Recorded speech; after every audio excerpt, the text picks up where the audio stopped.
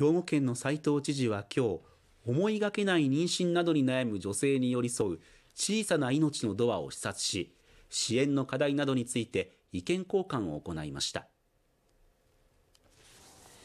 兵庫県の斉藤知事は今日2018年以降年中無休で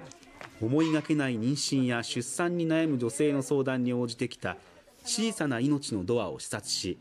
代表の永原育子さんらと意見を交わしました。小さな命のドアでは兵庫県と神戸市から委託を受け24時間の相談妊娠 SOS などを行っているほか出産後の生活や自立を支援するマタニティホームを開設しこれまでに17人の女性を受け入れてきました。斉藤知事は今月中にもプロジェクトチームを立ち上げ教育を含むさまざまな部局に入ってもらい議論していくと述べました。住んでいる場所の近くでそういったサポートをですね受けていただくことがやっぱり一番いいと思いますのでどういうモデルがいいのかということを一緒になってですね考えさせていただきながら、まあ、形を作っていくと。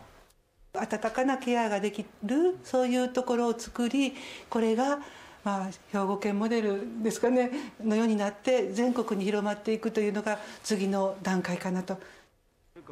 新たなプロジェクトチームは今月19日に発足するということです。